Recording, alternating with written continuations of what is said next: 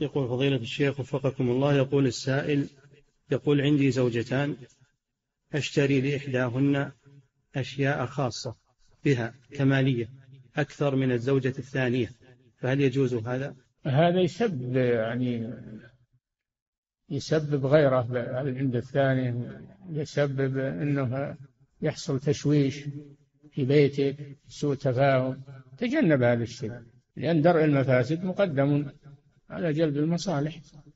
نعم.